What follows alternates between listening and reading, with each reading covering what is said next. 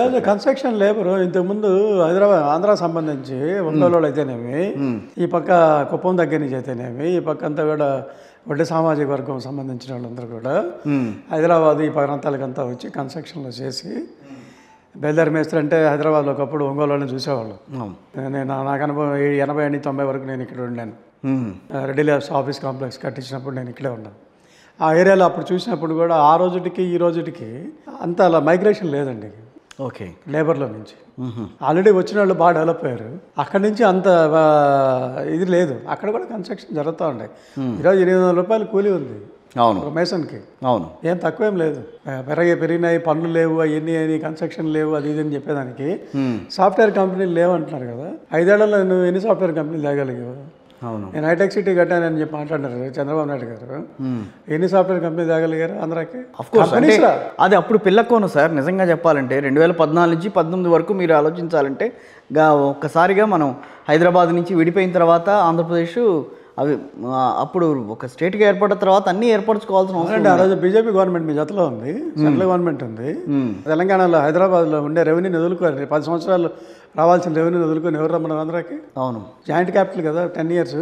అవును. ఈ రోజుకి కూడా ఇంకా ఈ నుంచి రావాల్సిన విద్యుత్ బకాయిలు రాలేదని చెప్పి ఉండే జగ జగన్మోహన్ రెడ్డి గారు ఢిల్లీ చుట్టూ తిరుగుతా ఉన్నాడు ఇంకా రాలేదని అవి రాలే ఇవి రాలేదని. అవును. ఈరోజు ప్రతిపక్షం కింద కాంగ్రెస్ కూడా మాట్లాడడం స్టార్ట్ చేసింది. ఎందుకు లేదు సో ఇదనేసి. అవును. ప్రత్యేక హోదా ఇవ్వలేదని ప్రత్యేక హోదా రాలేదని చెప్పి మేమేనో పెద్ద ర్యాలీలు కూడా చేసాం బెంగళూరులో. చాలాసార్లు కార్యక్రమాలు చేసాం. ఆరు వందల మంది ఏడు వందల మంది పిల్లలు యంగ్స్టర్స్ ఇంజనీర్స్ వచ్చేవాళ్ళు ర్యాలీ అంటే. అవన్నీ కూడా జరిగినాయి. అందరూ మనం కూడా ప్రొటెక్ట్ చేసాం ఆ రోజు. సమైక్య రాష్ట్రం కోసం కానీ అన్నీ కూడా అందరూ సమైక్య రాష్ట్రం కోసం కూడా జరిగిందా పెద్ద ర్యాలీలు జరిగినాయి. మనం క్యాండిల్ ర్యాలీ చేసినాము అక్కడ బెంగళూరులో అన్నీ చేసాం. ఎందుకంటే మీరు డెవలప్మెంట్ చేసి ఒక ఏరియాని డెవలప్ చేసి డివైడ్ చేస్తే బాగుంటుంది ఇప్పుడు. ఈరోజు రెండు రెండున్నర లక్షల కోట్ల కోట్లు డబ్బులు రెవెన్యూ బడ్జెట్ ఎంటైర్ స్టేట్ కలిసి రెండు లక్షల బడ్జెట్ రెండు లక్షల కోట్లు ఉండేది. ఈరోజు డివైడ్ ఎంత అది రెండు స్టేట్లో రెండు లక్షల రెండు లక్షల కోట్ల బడ్జెట్ తయారైంది. అవును. మీరు డెవలప్మెంట్ చేసేసి ఆంధ్రాని డెవలప్ డివైడ్ చేయదలుచుకున్నారు. ఆ రోజు ఎలక్షన్ స్ట్రాటజీనో లేకపోతే జగన్మోహన్ రెడ్డి గారిని అనగొట్టాలనో ఇంకో కార్యక్రమం వల్ల కాంగ్రెస్ గవర్నమెంట్ ఆ రోజు పార్లమెంట్లో డివైడ్ చేసిన రోజు. వెళ్దాం పాలిటిక్స్లోకి వెళ్దాం ఒకసారి. మీ బ్రడాయి గురించి ఒక్కసారి అది ఒకసారి అదే నేను ఆ స్కీమ్ గురించి ఒకటి నేను మాట్లాడతాను.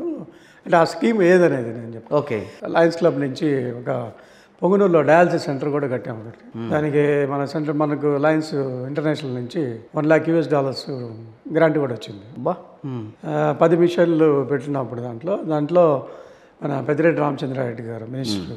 ఆయన కూడా యాభై లక్షల వరకు డొనేషన్ ఇవ్వడం జరిగింది. ల్యాండ్ కూడా అలాట్ చేయించి దానికి కావాల్సింది మన పార్కింగ్ కావాలంటే కూడా ఆయన ల్యాండ్ అలాట్ చేయించారు. మన ఎంటైర్ చిత్తూరు జిల్లాలో నేను గవర్నర్ ఉన్నప్పుడు అంతకుముందు పద్దెనిమిది క్లబ్లు ఉండేది చిత్తూరు జిల్లాలో. నేను వచ్చినప్పుడు కొత్తగా పద్నాలుగు క్లబ్లు స్టార్ట్ చేశాను మండలానికి ఒక లైన్ సంస్థ ఉండాలా? దాని తరపున ఇంకా కొంత సర్వీసెస్ చేయాలి.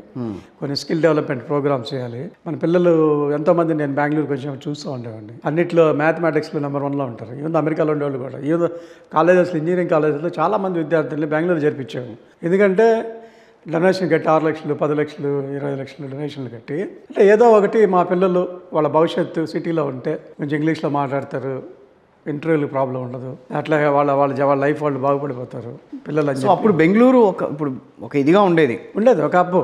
మన ఆంధ్ర వాళ్ళకి ఒక హబ్బు చదువుకు చదువుకు అయితేనేమి ఎంప్లాయ్మెంట్కి అయితేనేమి ఒక హబ్బులాగా పనిచేసింది. ఆ తర్వాత అది హైదరాబాద్కి వచ్చింది. దాని తర్వాత హైదరాబాద్ నిదానంగా మూవ్ అయింది. సో అదే పొజిషన్ ఇప్పుడు అమరావతికి కూడా రావాలని చెప్పి చంద్రబాబు గారు ట్రై చేశారు. ట్రై చేశారు బట్ అమరావతిలో ఏ సాఫ్ట్వేర్ కంపెనీ స్టార్ట్ చేయలేదు కదా. ఐదు సంవత్సరాల్లో ఇన్ఫ్లుయెన్స్ ఏం స్టార్ట్ చేయలేదు కదా. రైట్ మీరు ల్యాండ్ బిజినెస్ అది. మీరు ఈరోజు land business I can say ముప్పై మూడు వేల ఎకరాలు ఎన్ని ఎన్ని వేల ఎకరాలు నేను చాలాసార్లు సాక్షి దీంట్లో కేఎస్ఆర్ లక్ష్యంలో కూడా మాట్లాడాను నేను. దాని గురించి కూడా. అప్పుడప్పుడు మాట్లాడేవాడిని దాని గురించి. ఇప్పుడు రియల్ ఎస్టేట్ చేయాలనుకున్నప్పుడు ఒక జనరల్గా ఒక సిడిపి రిలీజ్ చేసేయాలి. కాంప్రహెన్సివ్ డెవలప్మెంట్ ప్లాన్ ఒకటి రిలీజ్ చేసి ఈ మాదిరి సిటీ కడదలుచుకున్నాము.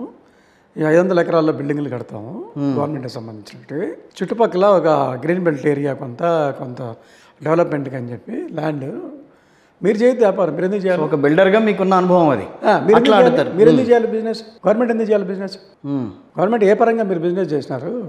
ఎంత ఇస్తున్నారు?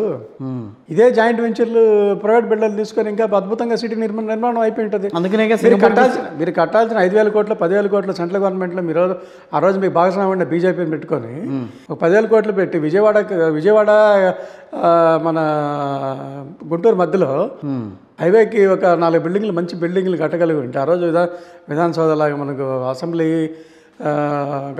అడ్మినిస్ట్రేషన్కి సార్. కట్టాం కదా కట్టిన చూపిస్తున్నారు ఇప్పుడు వాళ్ళు అవే ఎక్కడ పదకొండు వేల రూపాయలు స్క్వేర్ ఫీట్కి ఇచ్చి బ్యా- నీకు ఎక్కడా లేదు ప్రపంచంలో అంత రేట్ ఇచ్చి బిల్డింగ్లు కట్టింది. అయిపోయింది కట్టారు కట్టిన నేను చూద్దామని వెళ్ళాను. అది నేను యాక్చువల్గా చూద్దామని వెళ్ళాను విజయవాడకి. నేను జగన్ గారు గవర్నమెంట్ వచ్చిన కాబట్టి నాకు నేను వెళ్ళలేదు. నేను దాని తర్వాత ఐదు సంవత్సరాలు తెలుగుదేశం గవర్నమెంట్ నేను ఒకరు కూడా పోలా. జగన్ మాకు జగన్ గవర్నమెంట్ వచ్చిన తర్వాత వెళ్ళానండి చూద్దామని. ఎట్లా ఉంది అమరావతి బ్రహ్మాండం కట్టాం అది ఇది అంటాం అంటే అద్భుతంగా ఉంది. మాస్టర్ ప్లాన్ చూసి ఇవన్నీ చూస్తామంటే ఏందో చూద్దాం ఏంది అసలు పరిస్థితి అని చెప్పి పోయాం. అప్పటికి బెంగళూరు రియల్ ఎస్టేట్లో ఉండేవాళ్ళు ఒక్కరు కూడా ఎంటర్ కావాలి ఎక్సెప్ట్ ఒక ఎమ్మెల్యే తప్ప ప్రజెంట్ ఎమ్మెల్యే ఆయన బిల్డర్ బెంగళూరులో ఆయన తప్ప ఎవరు ఎంటర్ కావాలి అక్కడ. ఉమ్. జనరల్గా హైదరాబాద్ వాళ్ళు బెంగళూరు ఎంటర్ అవుతారు బెంగళూరు వాళ్ళు హైదరాబాద్ హైదరాబాద్లో ఎంటర్ అవుతారు. ఇవి ఉండేది. ఏందో వైజాగ్ బిల్డర్లు కూడా చాలా మంది రాలా. అమరావతి చూస్తాను అమరావతి వైపు. ఎందుకంటే వైజాగ్లో కూడా చాలా రేట్లు ఉన్నాయి కంపేర్ చేస్తే బెంగళూరు నుంచి కంపేర్ చేసినప్పుడు కూడా హైదరాబాద్లో కూడా వైజాగ్లో కూడా మంచి రేట్లు ఉంటాయి నేను రియల్ ఎస్టేట్లో మేము అబ్జర్వ్ చేసిన దాంట్లో ఈ ముప్పై మూడు వేల ఎకరాలు ఏదైతే చేశారో దాంట్లో అసైన్ అసైన్మెంట్ ల్యాండ్స్ ఇవన్నీ కూడా తీసుకోవడం జరిగింది. జరిగింది స్కామ్ ఏదైతే మాట్లాడుతూ ఉన్నారో దీంట్లో నేను ఏకీభవిస్తున్నాను. నా పర్సనల్గా నాకుండే అనుభవంలో రియల్ ఎస్టేట్లో నేను దీని మీద ఏకీభవిస్తున్నాను. ఎందుకంటే ఇట్ ఈస్ హండ్రెడ్ పర్సెంట్ జనాల్ని చాలామంది నాశనం చేశారు. ఏదైతే సోకాల్ చంద్రబాబు నాయుడు కమ్యూనిటీ గురించి మాట్లాడుతున్నారో మా మా కమ్మ కమ్యూనిటీ డెవలప్ చేసాం ఫారినర్ అమెరికాలో ఉండే వాళ్ళందరూ కూడా ఇన్వెస్ట్ చేసి. చాలామంది దెబ్బతిన్నారు అక్కడ. మీరు చేసిన పనులకి చాలామంది దెబ్బతిన్నారు బిజినెస్లో పెట్టుకుంటారు ఇన్వెస్ట్మెంట్ డైరెక్ట్గా అవును తర్వాత మీరు గవర్నమెంట్- తర్వాత జగన్ గవర్నమెంట్ వచ్చిన తర్వాత దాన్ని అభివృద్ధి చేస్తుంటే కొంచెం వాళ్ళు కూడా బాగుపడి ఉండేవాళ్ళు. అదే అది ఎట్లా అవుతుంది? వాళ్ళు అడిగేది అవన్నీ చేయాలంటే ఐదు లక్షల కోట్లు పెట్టాలా? నువ్వు చంద్రబాబు నాయుడు చెప్పాడు ఇన్ని లక్షల కోట్లు కావాలా? దానికి ముప్పై సంవత్సరాలు టైం పెట్టాడు. అందుకనే సింగపూర్ గవర్నమెంట్లో ఉన్న వాళ్ళతో ఇప్పుడు ఒక గవర్నమెంట్ ఉందండి ఒక సీఎం ఒక లీడర్ అనేవాడు ఒక విజన్తో వచ్చినాడు. సీఎం అయితే ఏం చేయాలనేది ఒక విజన్ ఉంటుంది ప్రతి ఒక్కరికి. సీఎం అనే కాదు ఏదైనా ఒక పోస్ట్లో తీసుకున్నప్పుడు ఆయన విషయం అదే అమరావతిని అభివృద్ధి చేయాలని అనుకున్నాడు ఆయన. ఆయన ఆయన- అమరావతిని అభివృద్ధి చేయాలనుకున్నాడు. ఫస్ట్ ఏదన్నారు క్యాపిటల్ న్యూజివేడ్ దగ్గర క్యాపిటల్ అన్నారు. మళ్ళీ మార్చారు ఇక్కడికి. మా కర్ణాటకలో ఉన్న వాళ్ళు కొంచెం అంతా ఇంత చదువుతూ ఉంటాం తెలుగు పేపర్లు.